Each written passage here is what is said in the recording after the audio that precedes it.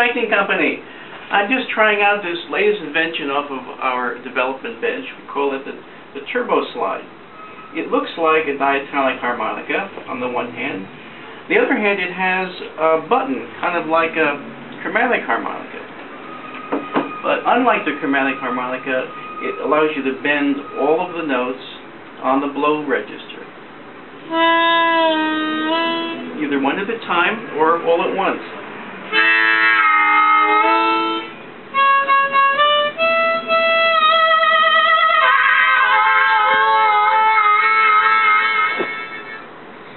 How does it work, you ask? Well, let me show you on this diagram. This is a cross-section of the harmonica. There's the blow reed, the draw reed. What we did was we placed a magnet next to the blow reed, which happens to be made out of metal, and the force field from that magnet softens the springiness of the reed, which then makes it flatter.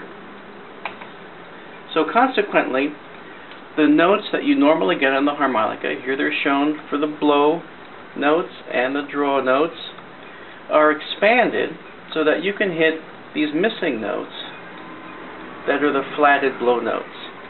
So we all know how to flatten a draw note, and we know how to overblow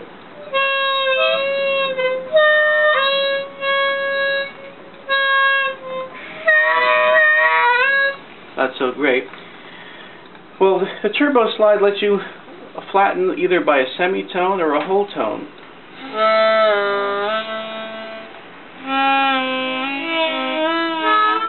One at a time or all at once.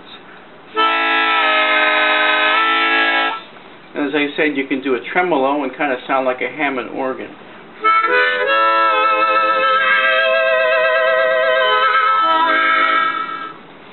So if you ever wish that you had a whammy bar for your harmonica, that's kind of what the turbo slide provides you.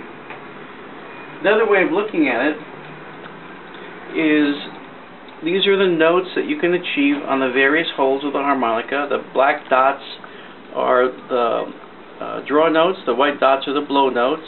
We can bend in between, so like here's a three draw, And the turbo slide lets us bend notes down that we otherwise can't bend. So all of those red arrows are the new notes. And then the future version will allow us to sharpen uh, the draw notes. The possibilities really have yet to be uh, explored, and we kind of invite you to try it out.